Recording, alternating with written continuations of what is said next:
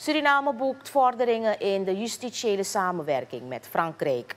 In navolging van het bezoek van de Franse minister van Justitie aan Suriname in september 2022 heeft er afgelopen vrijdag een Zoom-meeting plaatsgevonden tussen, tussen justitiële autoriteiten van Frankrijk en Suriname. De onderwerpen die ter sprake zijn gekomen zijn corruptiebestrijding, bestrijding van drugsmokkel, de implementatie van het Minamata-verdrag en de aanpak van het gevangeniswezen.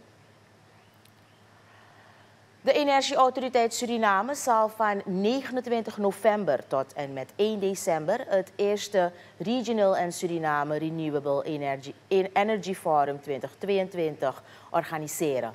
Het thema is Our Future is Electric. Het zal het eerste fysieke evenement in 2022 zijn om de duurzame energietoekomst van Suriname een kickstart te geven.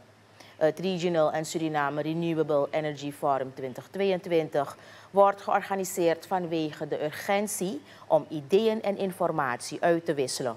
Ook om duurzame energietechnologie en modellen te implementeren in Suriname en de regio. Ronald Hooghart, voorzitter van de CLO, heeft een brief naar de president gestuurd... waarin hij zijn misnoegen uit over hoe landsdienaren worden behandeld. In de brief wijst Hooghart erop dat er beschikkingen, beschikking en resoluties worden uitgegeven. Echter merkt men van de uitvoering niets.